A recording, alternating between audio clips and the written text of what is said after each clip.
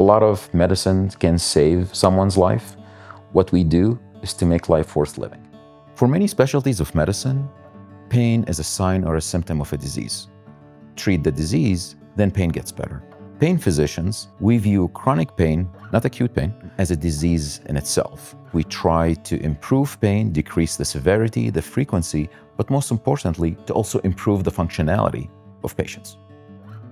Patients may request referral to a pain specialist for many reasons. Some of these reasons include chronic pain conditions such as fibromyalgia, headaches, migraines, arthritis, especially low back pain, also pain that goes down the limbs like radicular pain down the upper extremities or the lower extremities.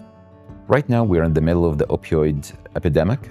One of the things we can do as pain physicians is to educate the public and also other healthcare providers about the risks and benefits of some of the medications we use to control pain. And what we are trying to do is to decrease reliance on medications by using interventional pain procedures.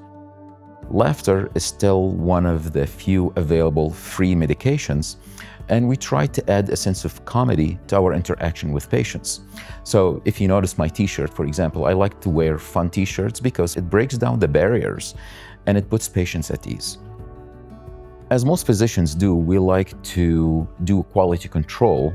We did the retrospective studies of our clinic pain patients, about 1,200 of them, with chronic pain that's non-malignant in nature. What we found out is that their pain was reduced by about 34%.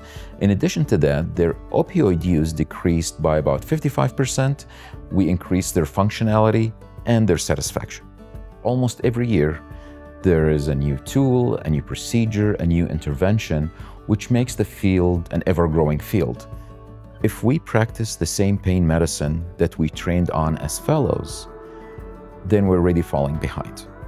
And the only way to move forward is by investing time and resources into new research to be able to develop new techniques, new tools, new medications, new ways to manage chronic pain.